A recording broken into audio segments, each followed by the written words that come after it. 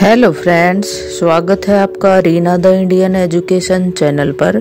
आज की वीडियो में हम लिखेंगे विदाई समारोह पर भाषण हिंदी में।